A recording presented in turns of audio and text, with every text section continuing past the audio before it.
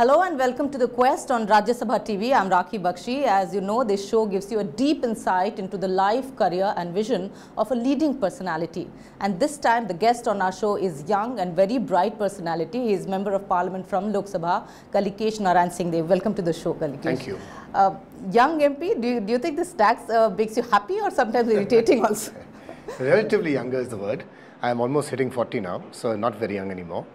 And but certainly in the context of Parliament, definitely relatively younger. You know, going back to your early days, uh, grandfather was a chief minister, father veteran leader in Odisha, Odisha now, and uh, also an ex-minister. So one would say that politics to you was quite an uh, easy game or a cakewalk rather. No, I don't think anybody who enters politics will ever call it a cakewalk or an easy game.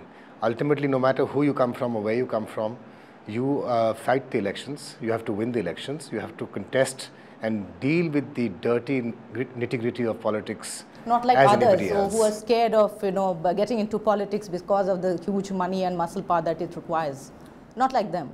Well, uh, I think politics is crucial to any like eh, to any nation building process, and democracy is the only stable way to go forward.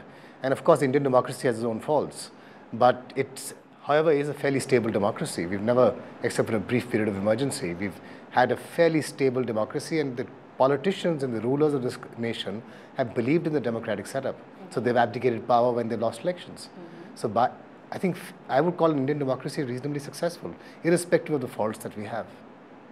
Uh, what uh, the point I was trying to make actually is that some of you who are often uh, there, there are uh, or accused of uh, you know having it easy because of the dynastic politics term that comes in between.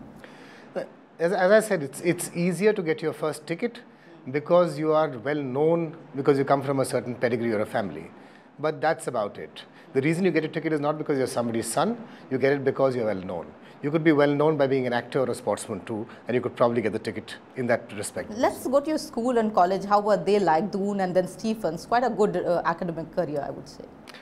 I had a great time in school and college. I, I enjoyed uh, myself in school and college. I was in the hostel in both places, made some great friends, played a lot of sports and extracurricular activities, a lot of debating and drama, and of course I played basketball and shooting and all of that. So I had Did a you great time. continue your sports? I shot till I was in the middle of college. I used to play basketball for Stephens. So yes, to that extent I continued, but up until serious competitive sports up until college. I still play occasional game of squash or badminton, a little bit of cricket, but not beyond that. Did you decide quite early that politics was your future career? When I hit college, when I was 18, I decided that I want to get into politics. But I, was also quite sure that I want to spend the first 10 years of my life not being in politics and not being in Orissa. And why was that?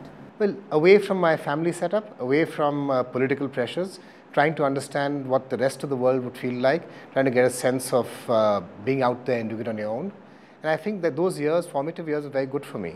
gave me a lot of confidence. They gave me a perspective of world outside of politics and a better understanding of what politics can do for that world. So you studied economics and that's why you became an investment banker and also in energy de- project development or whatever you got into. What were what was that like? Well, economics was because it was the best course to do in St. Stephen's. And investment banking was when, because that was the in thing to do, to be honest with you.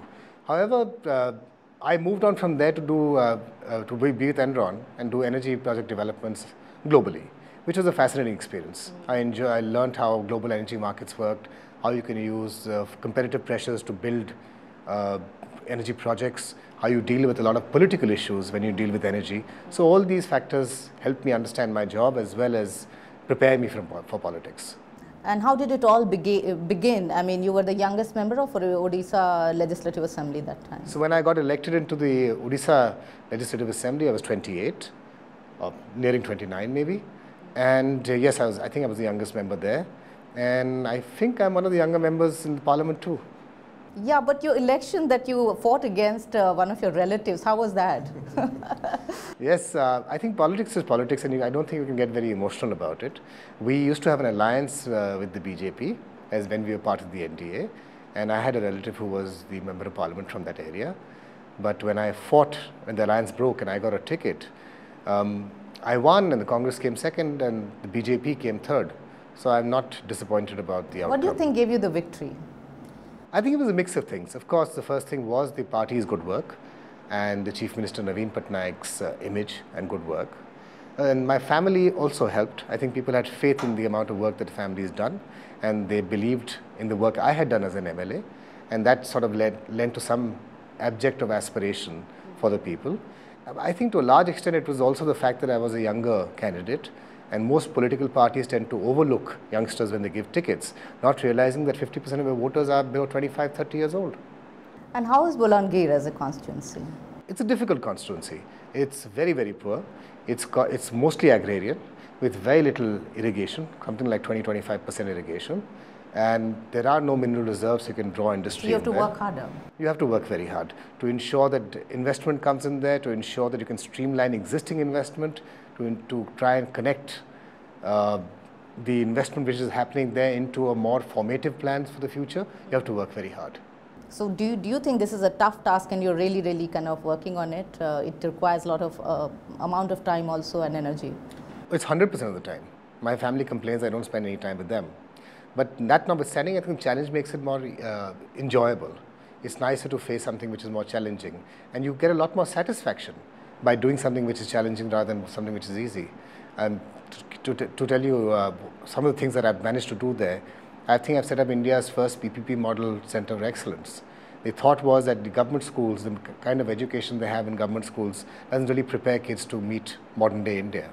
And we've set up, set up a center of excellence through PPP mode with IL&FS, where the state government gives about 10 crores and IL&FS is putting 16 crores. Mm-hmm. And they're putting up a CBSE English medium modern school there, along with a training center. Mm-hmm. Similarly, Xavier's Institute of Management is putting up the second uh, campus there in Bolangir. I managed to get Aegis to do some hiring there for the BPO center. Mm-hmm. Got a couple of power projects going on. It's been interesting, it's been challenging. I think we have a long way to go. Your brother is also going to be in politics? I have two brothers. Um, both of them are interested, but the youngest one is, I think, a little more interested and is keen to get into politics. And talking about your marriage, you got somebody, uh, your wife, all over from Nepal. it's a friendly country, friendly neighborhood, a friendly relationship. and she brought some people, as I was reading about it. that was that was a mischievous Indian Express uh, journalist, but uh, yes, uh, she she got some staff and everybody from Nepal, and uh, I think this is one of the first few marriages between India and Nepal as far as Orissa is concerned. Otherwise, the rest of India have got a lot of uh, intermarriage exchanges between Nepal and India. So we are talking to Kalikesh Narayan Singh Deo and we, are, we have talked about his personal life, but we'll talk more about his career after this very short break. Welcome back. You're watching The Quest and I am talking to Kalikesh Narayan Singh Deo right now. Uh, your first day in Parliament, how was it? Very exciting. I was very nervous. It was great to see the leaders of the country all in one room and I was very excited because this was a dream which uh, I've had for a long time, and I enjoyed it. It was thoroughly exhilarating moment. But do you think getting a space inside the parliament once you enter as a member uh, there uh, is quite uh, difficult and a challenge because you're fighting for your space? Um, yes, so it is a challenge, especially in a setup where uh, age and seniority is what counts more than anything else. But uh, I think the advantage of being in a small party like ours has helped me because I've managed to speak a fair amount of times in Parliament. And uh, because there are a limited number of people to speak, you get an easier chance. But in the larger parties, where there's uh, whether it's the UPA or the or the NDA, I think there's uh, it's it's a struggle for the youngsters to try and get the word in. Talking about party, do you think your party gets enough attention, or as you were mentioning, smaller party? Uh, how do you think smaller parties kind of function and perform? So the disadvantage of being in a smaller party is that you get time according to your numbers, a pro pro proportionate time. But uh, the advantage is that you can really make yourself shine. And I think our party in particular, and I would speak for a large number of the MPs that we have, I think we've done a good job and we are known for a group of people who really are able to articulate issues very well. You've said, uh, Kalikesh, that education plays a very important role in politics, but some of the seniors in politics say that education has not much to do with politics, it cannot be taught. So, I think politics is about understanding people. And in today's environment, a large number of people are educated, which reflects in their aspirations and wants and also an awareness of what's going on in other countries, what are the best systems to tackle the challenges that India has to meet. Yeah. I think all of this can come through education. I think that it will certainly help. It may not be the only thing, to get into politics, but it certainly helps. It certainly adds up. Especially in this time, uh, we are seeing that uh, the number of young MPs is quite uh, satisfying, I would say. Uh, but also the disadvantage would be that, uh, you know, with young MPs, uh, male or female, there's this glamour quotient attached in the sense that, you know, you're articulate, you look modern, you speak well, you're stars at major events. But that's where I think you face more challenge to prove yourself. Well, I think what's happened is that India has evolved. The India has become younger, the, the young Indians have become more aspirational, more ambitious. They've learned to see what Western, uh, you know, people are like, what they want, the kind of lives they want have evolved along with this process. Mm. And accordingly, the, uh, the, the representatives have evolved. I don't think it's anything new. No, why I ask that? Because the, generally the perception is that you don't connect so much at the grassroots level. Well, that's not true. Otherwise, you wouldn't have had 20%, 25% people under 45 winning elections. And in fact, the people at the grassroots level have changed. Mm. If you see the kind of politicians we've had or the kind of people we've had even in rural areas, 20 years ago when there were no televisions, you know, when they didn't have DTH systems, it was a different, different India back then.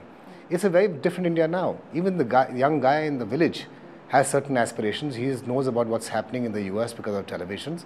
And there's a different want and aspiration which exists in the grassroots but level. But sadly, why aren't you making a difference when it comes to all these disruptions in parliament, slogan shouting, coming to the well?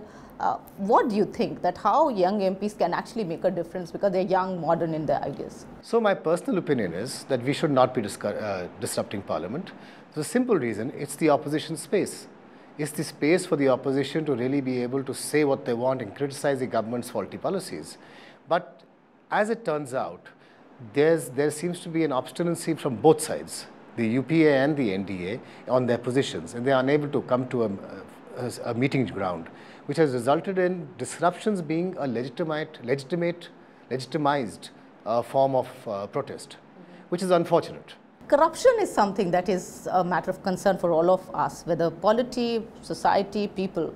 Uh, but what is uh, your solution? You've said somewhere that uh, this discretion that politicians have or leaders have should go away. But at the same time, these are privileges that maybe MPs ask for. And if there is a cut, it's not really enjoyed much. Well, discretions are not with MPs. Discretions are with the government. Now, whether it's the politicians in the government or is the bureaucrats in the government, the discretionary uh, mandate comes from there. And I think discretion should go.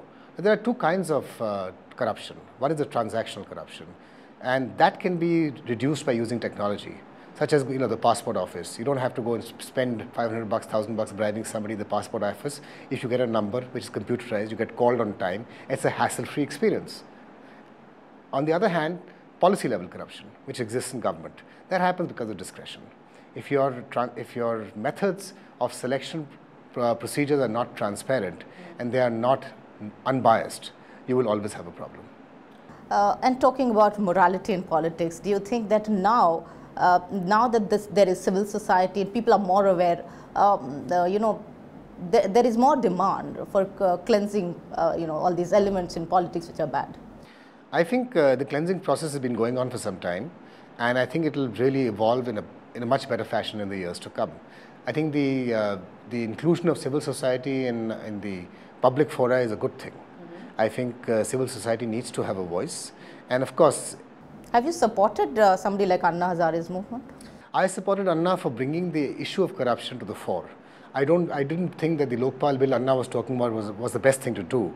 I think there were other better versions around the corner, but certainly Anna Hazare was instrumental and was key to bringing the issue of corruption to the eyes of the people. And how would you look at this whole uh, uh, ambit of parliament, which is a learning experience and which makes you, uh, you know, more responsible as part of a democratic country and process? Well, life is a learning experience, and certainly parliament, you're always learning. I've met MPs who are five times, six time MPs who kept telling me that they're still learning and evolving.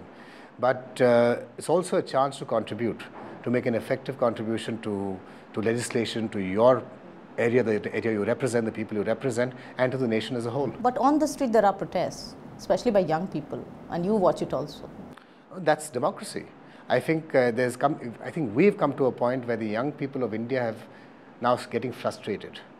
Uh, some many years ago, they would be patient, they would be fatalistic and say, "Hamari fate hai," but not any longer. I think that they know what they want. They want to push the politicians. They don't, they don't, they're not patient with corruption or inefficiency, and I think that's a good thing. Who are your ideals today in politics, uh, Kalikesh, if I may ask? I think there are a lot of good, good facets in many good people. I think Naveen Patnaik has been an exemplary leader. He's that was obvious that you would have. well, he's shown great vision, and his vision has been replicated by the people. He's been elected three times as a chief minister, and will probably get elected the fourth time. That's that was my question actually. Are you hopeful? I am confident that our party will come to power in. Uh, in the state of Orissa. Okay, so we'll continue talking to Kalikesh Narayan Singh Deo once again, uh, but come back to the quest. Uh, we are still continuing the conversation after a very short break once again. We are talking to Kalikesh Narayan Singh Deo on the quest. He's from the BJD and we'll talk about BJD's future. And we were talking about the forthcoming elections. But are there any tie-ups that BJP, BJD is thinking of?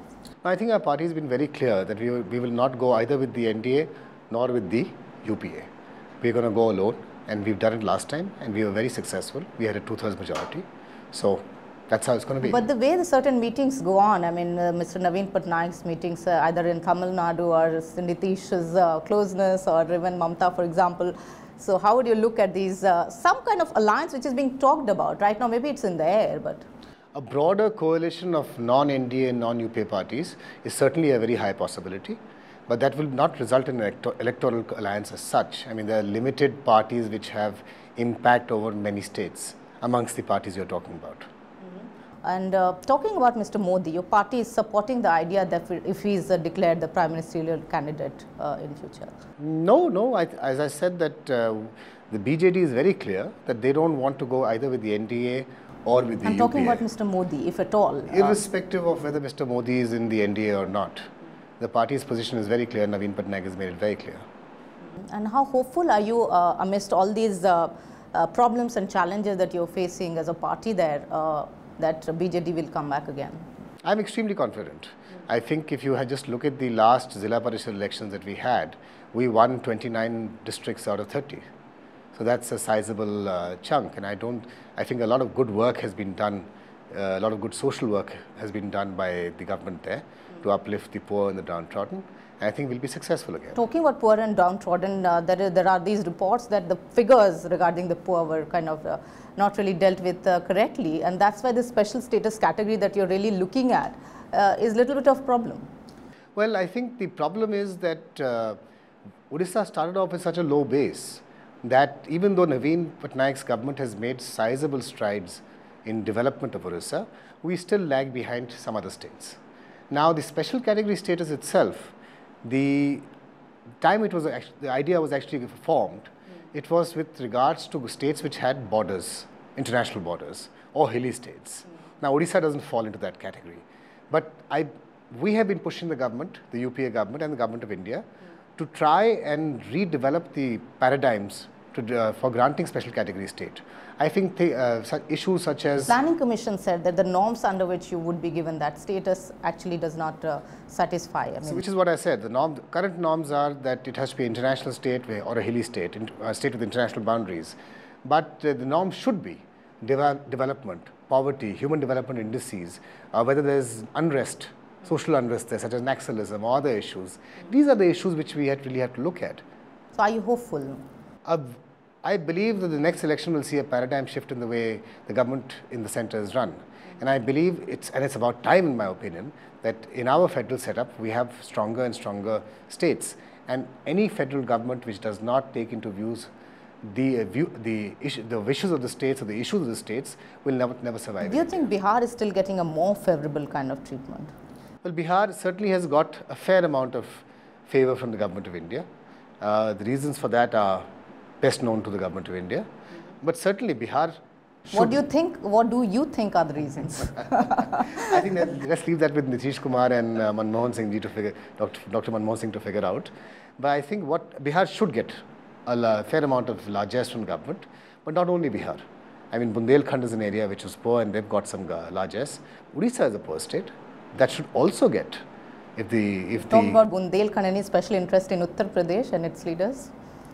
Um, I think uh, there are always political interests for governments, whether it's in the state or the center, to try and push an agenda. But if that political interest actually serves a real burning issue, then it's a good thing. Actually, uh, very bluntly, this third front, and we actually we talked about it earlier in the earlier segment as well. But do you think it's a reality? Or do you think it's, it's time that it, there is, it should be shaping up? I see nothing wrong with the concept of a third front. I think there are very politically mature and intelligent leaders who've led their states for many years and many, many times who are involved, who could be possibly involved in the concept of a third front. Uh, however, whether that actually materializes or not is something which we'll have to wait and see. But let me tell you very clearly, next time, neither the UPA nor the NDA will be in power. That is a strong statement coming from you. Uh, talking about Naxalism, and we just saw this uh, these unfortunate attacks on Congress leaders in Chhattisgarh. Odisha also is facing that kind of a problem. So, what is being done? It's a horrific attack which uh, on the on the political uh, leaders in Chhattisgarh, and uh, Naxalism has been a problem for many years. The government of India has recently, of late after 2005 or 2006, woken up to the fact that it actually is a problem, and uh, some amount of effort has been put in trying to develop these areas which are prone to naxalism and most of these areas are tribal areas which have large number of forests and also have a large number of mineral resources. And the intelligence inputs also said somewhere that some batches came from Odisha to, uh, you know, this attack where it happened. So I, I, I, come from one of those border areas of Chhattisgarh. So I, I have a certain amount of area which is Naxal influenced. Um, majority of the people in my area at least have been from Chhattisgarh. There have been some local recruitments, but I think what's happening now is that the Chhattisgarh uh, unit of the Naxals has become very, very active. And unless we take strong action to try and limit them or prevent them, we will have a problem. So what is your solution? I mean, if, if you were to kind of think about a, a solution which should be or a road or a framework or a roadmap, what would you say? Uh, there are many things which need to be done. Primarily, the development of these areas needs, needs to be speeded up with a lot more effort than it is currently being done.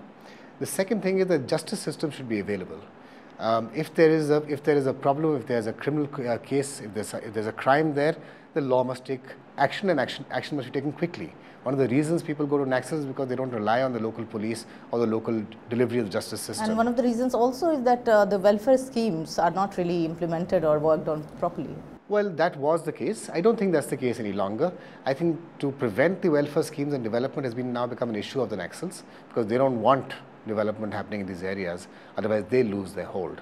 But I think also you need a strong police uh, action, a lot of intelligence input, in intelligence gathering which needs to be taken care of and you have a strong police action while offering a way for people who want to get out of that way of life and join mainstream India, a possible solution of a surrender or a passage back into mainstream India. You know, one of the uh, areas where Orissa gets talked about also is when you, we talk about uh, mining scams or environment clearances. I mean, you had big projects, POSCO, uh, and um, of course, when I say mining, I mean all these camps which come up. So, what would you say that uh, maybe the kind of background or geographical structure that the state has or reasons that are best known to you people? Well, Orissa is a mining state. It's a mining trove, a mineral treasure trove of India. So if, if there are controversies around mines or mineral related industries, of course some of it will also fall in Orissa. But by and large, I think Orissa needs a lot of development. And uh, is a state which requires a lot of income generation for the state to be able to develop social welfare schemes. So industries is a must you have to shift people from marginal farming, which is what the majority of them are doing now, into other avenues so they make both their lives better as well as farming more successful. Uh, but beyond that, I think Orissa has been very transparent in the way it's, it's conducted its uh, affairs, especially so with, uh, with mines and mineral related activities. Politically speaking, within your party also there are problems. Pyare Mohan Mohapatra has all formed a, his own party. I would say he's becoming some kind of a Yediyurappa, what he was in Karnataka. Do you also think the same? Well, Mr. Mohapatra has never been the chief minister of uh, Odisha. That so there's, there's no Yediyurappa there, but also he's no longer in the party. And when he left, he has not taken any MLA or MP with him. So I think you it's a different context. A well, it's, it's always sad to lose a party leader, but uh, I think our party is strongly behind Naveen Patnaik. And as long as Naveen Patnaik is there, we don't fear that we have much of a problem. You know, a lot of people would be watching this interview and uh, coming from you who's uh, younger MP, as you rightly title yourself as, uh, what would you say that uh, how uh, your lot can really make a huge contribution to today's polity? I think uh, the something which we are already doing, but needs to be done a lot more, is to gather around ourselves across part, cutting across party lines and working out on issues. I think there's tremendous scope to push the government in the right direction. And I'll give you an example. When we spoke on the Green Tribunal bill, I remember the government was taking a very soft stand, and it was just a bunch of us younger MPs who spoke. And of course, we had Jairam Ramesh, who was very conducive to our, to our views, and he managed to incorporate a lot of our views and change the rules of the bill. I think something like that, and a lot stronger push in the right direction as how we view it, we can make a strong contribution. So looking forward to a session uh, which is calmer, which has more discussions and debates. I am looking forward to a session where we can talk. so what's your dream, Kalikesh Naran Singh Deo, and uh, the, the, the, the road that you see for yourself? Politics is an uncertain career, so I don't think you can you have a transcript uh, career path. I think the key to successful politics is to be with your people, to work for their welfare, and to have the genuine goodness for the for the nation in your heart. And if you keep that in mind, I think you'll do well in politics. I hope you do that, and thanks a lot for joining the show. and uh, all the congratulations and greetings. And that was Kalikesh Naran Singh Deo for you. I uh, hope you enjoyed this edition of The Quest. Thanks for watching. Namaskar.